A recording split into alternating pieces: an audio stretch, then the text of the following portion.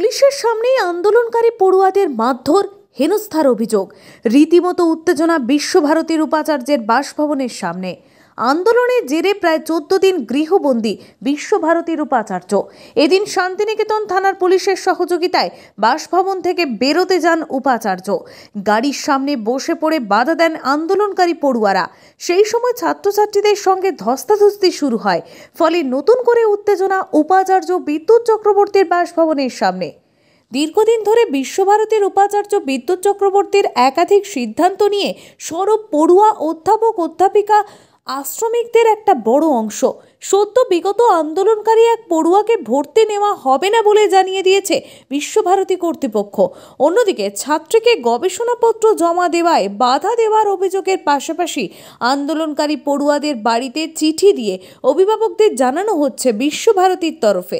এই সকল অভিযোগে চোদ্দ দিন ধরে শান্তিনিকেতনের পূর্বপল্লীতে বাসভবন, পূর্বিতায় বন্দি উপাচার্য বিদ্যুৎ চক্রবর্তী। এদিন শান্তিনিকেতন থানার পুলিশের সহযোগিতায় বাসভবন থেকে বেরোতে যান তিনি। সেই সময় আন্দোলনকারী পড়ুয়ারা তাঁর গাড়ির সামনে বসে পড়ে। তারপরেই বিশ্বভারতীর নিরাপত্তারক্ষীরা পুলিশের সামনেই মারধর, হেনস্থা করে পড়ুয়াদের বলে অভিযোগ। এক ছাত্রীকেও মারধর করা হয়। পরে পড়ুয়াদের সঙ্গে নিরাপত্তারক্ষীদের ধস্তাধস্তি শুরু হয়। নতুন করে উত্তেজনা ছড়ায় বিশ্বভারতীতে। তাদের দাবি, আগে পড়ুয়াদের সঙ্গে আলোচনায় বসে সব সমস্যার সমাধান হবে।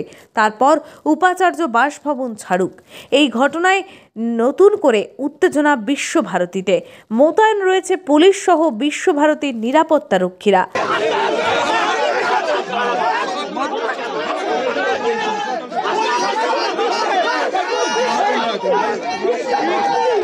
বিশ্বভারতী